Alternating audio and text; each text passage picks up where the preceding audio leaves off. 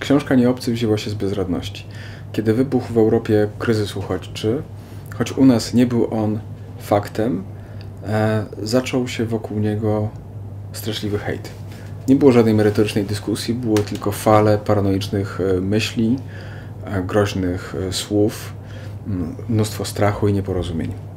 Mm, w tym momencie z Jerzym Wójcikiem spotkaliśmy się i wpadliśmy na pomysł, że należałoby zrobić książkę, która niejako wróciłaby z problemem do korzeni, która zadawałaby elementarnie, elementarne pytanie, kim jest um, ów um, obcy, rzekomo, który stoi e, u naszych bram. Nie chcieliśmy uprawiać e, takiego prostego publicystycznego projektu. Chodziło o to, żeby pisarze, na kto ma lepiej rozumieć problem obcości niż ludzie, którzy mm, pracują ze słowem i budują literackie światy, e, żeby oni zaproponowali nam teksty, które będą mówiły o tym, kim są mm, obcy w ich e, rozumieniu. Więc dostaliśmy bardzo różne e, teksty. Niektóre to opowiadania kryminalne, a inne to były reportaże, które bezpośrednio z dnia na dzień reagowały na, na to, co dzieje się na, granicach Europy. Nie było najmniejszego problemu z tym, żeby y, mm, zebrać do tego projektu ekipę naprawdę wybitnych postaci z polskiego życia literackiego.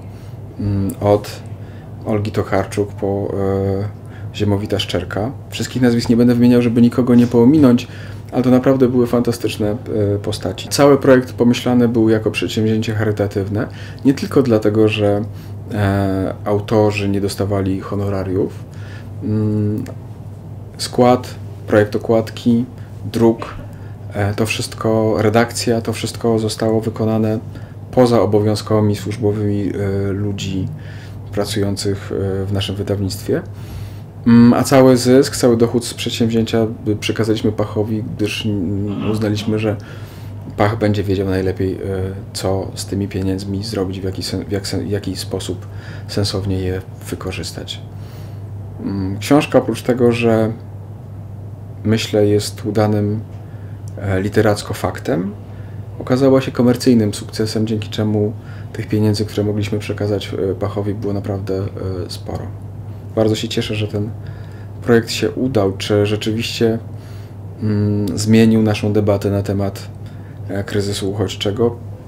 Nie mam złudzeń co do tego, ale z drugiej strony przynajmniej pojawił się e, w tej debacie inny, mm, może bardziej głębinowy, istotniejszy głos. Bardzo mnie cieszy to, że e, Nieobcy nie był traktowany wyłącznie jako projekt charytatywny, E, czy e, projekt misyjny, ale też jako mm, książka literacka.